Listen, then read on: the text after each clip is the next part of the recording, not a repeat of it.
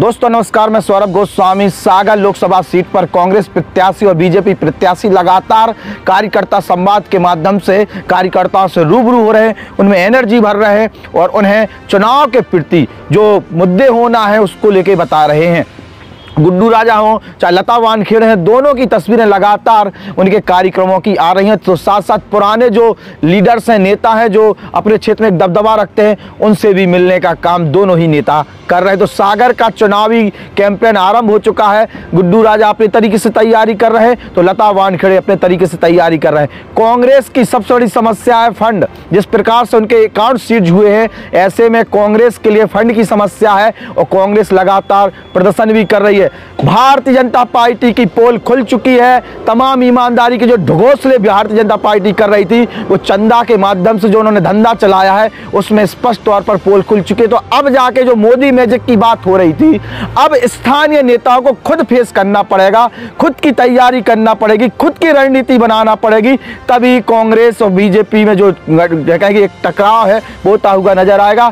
स्पष्ट है, मोदी मैजिक के सहारे लोकसभा चुनाव स्थानीय जो चेहरे हैं, जो लोकसभा के चेहरे बीजेपी के खास तौर पर बनाए वो अब जीतते हुए नज़र नहीं आएँगे। उन्हें खुद अपनी एक रणनीति बनानी पड़ेगी। कांग्रेस लगातार बार कर रही है कांग्रेस का जो गठबंधन है, वो कहीं ना कहीं मजबूती की तरफ़ इशारा कर रहा है और अंडरटोन बड़ी मज़बूत देखने को मिल रही है।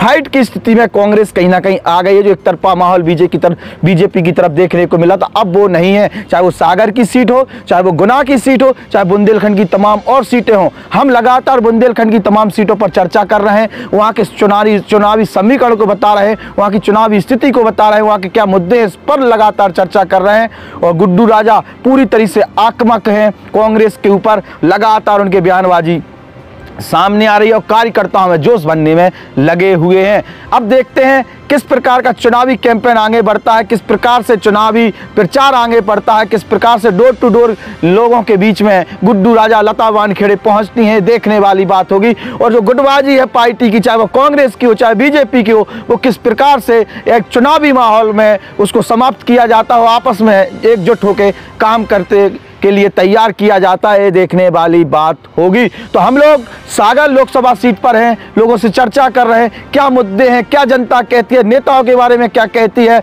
बुंदेलखंड की सबसे हॉट सीट सागर, गुना, ये दोनों सीटें जो है, बहुत हॉट सीट हैं, और इन पर लोगों की नज़र भी बनी हुई एक तरफ़ गुड्डू राजा तो एक तरफ़ सिंधिया, और राव यागवन सिंह का जो नाम सामने आया है तो वहीं लतावान खेड़े सागर, इन चारों के चेहरे पर चुनाव बहुत दिलचस्प होने वाला इन सीटों पर, और हम इन दोनों सीटों पर विशेष कवरेज बनाए हुए हैं। नमस्कार।